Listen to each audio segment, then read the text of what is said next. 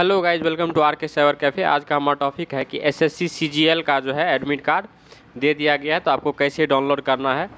तो इसका जो ऑफिशियल वेबसाइट है, मैं आपको लिंक जो है इसका डिस्क्रिप्शन बॉक्स में डाल दूँगा।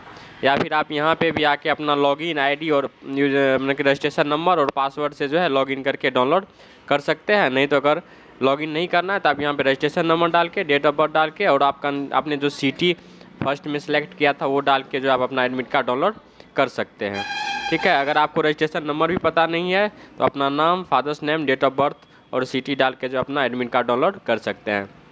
तो चलिए मैं रजिस्ट्रेशन नंबर डाल के जो है एडमिट कार्ड डाउनलोड कर लेता हूँ। तो मैंने जो है अपना यहाँ पे सारा चीज़ डाल दिया है, उसके बाद आपको जो है सर्च पे क्लिक कर लेना है। जिनका एग्ज़ाम जैसे इनका एग्ज़ाम है आपको तेरह बारह को तो ये जो है नौ तारीख से डाउनलोड हो रहा है। मतलब कि आपको चार दिन पहले से आपका एडमिट कार्ड डाउनलोड होगा। अगर आपका एग्ज़ाम पंद्रह से है तो आपका जो है ग्यारह तारीख से आपका एडमिट कार्ड डाउनलोड होगा। ठीक है तो आपको यहाँ पे एक्सेप्ट कर लेना है। उसके बाद आपको हिंदी या इंग्लिश जैसा चाहिए, आप इस पर क्लिक कर दीजिए और अपना एडमिट कार्ड जो है आप अपना प्रिंट करके रख लीजिए। तो आज के वीडियो में बस इतना है। अगर वीडियो पसंद आए तो लाइक शेयर सब्सक्राइब ज़रूर कीजिए। Thanks for watching Radhe Radhe.